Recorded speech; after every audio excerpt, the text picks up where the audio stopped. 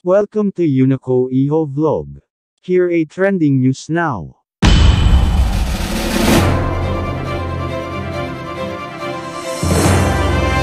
Ito ang trending balita ngayon.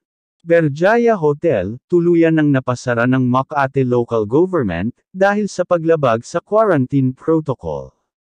Kung saan nag-quarantine dun si poblasyon girl, na si Gwyneth Chua.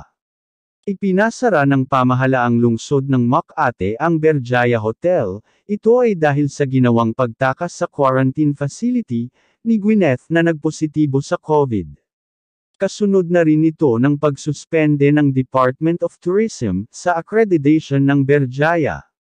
Sa inisyong cease and desist order ng Makate, kasong paglabag, sa safety at health protocols ang isinampa laban sa hotel.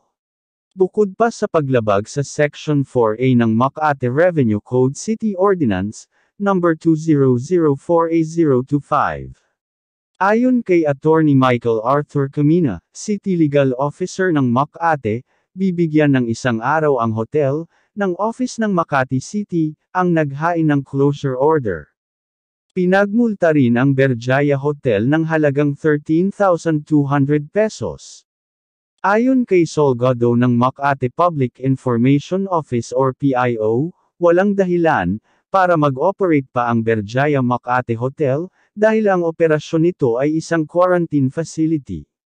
Agad na ipinaskil ang closure order sa pinto ng Berjaya Hotel na mananatili, maliban na lamang kung babawiin ng DOT.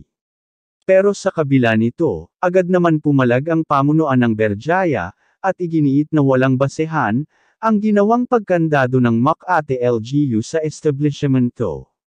Giit naman ng pamunuan ng hotel, ang suspension ng DOT, ay hindi pa epektibo, at walang batas na nagpaparusa sa mga hotel, kung saan, hindi na i-report ang paglabag ng kanilang guests sa quarantine protocols. If you like this video, please thumbs up, subscribe, comment below and click notification bell for more upcoming videos. Thanks for watching.